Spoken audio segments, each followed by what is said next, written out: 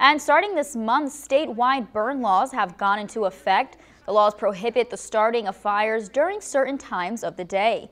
These restrictions happen every year during peak fire seasons. Newswatch reporter Jacob Comer visited the Beckley Fire Department to learn more about those restrictions.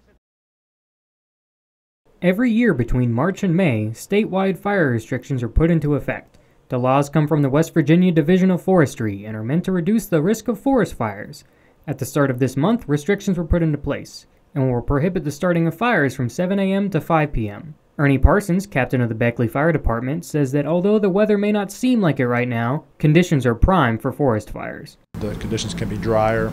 I know we're at the beginning of uh, still kind of wet outside right now, but typically they're a little drier. You have more debris that needs to uh, that has accumulated, you know, through the winter months, and so there's more uh, fuel that can burn. Although the restrictions may be annoying to some citizens, it does not completely prohibit all fires, just ones between 7 a.m. to 5 p.m., because conditions get better for fire management during those times. They restrict the outdoor burning until after 5 because typically the winds will die down in the evening, the humidity will come up.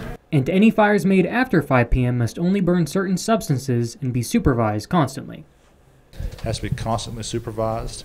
Uh, you have to have a means of putting it out, such as the fire hose. Uh, you can only burn naturally occurring vegetation, uh, no man-made or processed uh, wood, even uh, no pallets, that type of thing, no, no lumber. And according to Parsons, the best way to control a fire during this time of the year is simple. Common sense, you know, uh, stay with it. Don't just ignore it. The burn restrictions are necessary to prevent potentially deadly and costly forest fires.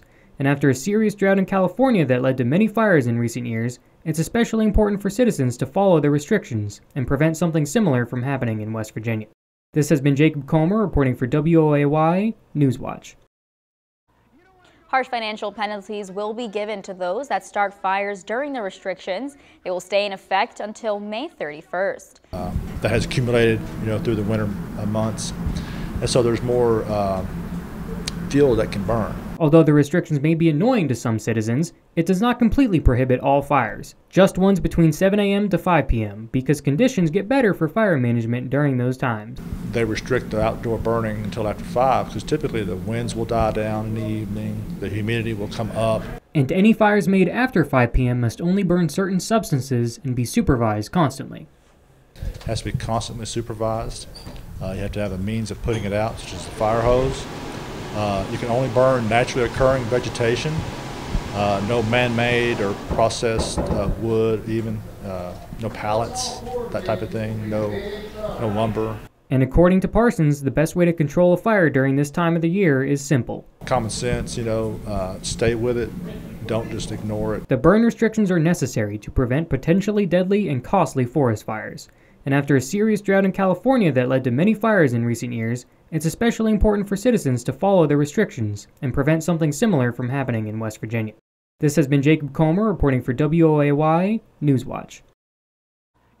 Harsh financial penalties will be given to those that start fires during the restrictions. They will stay in effect until May 31st.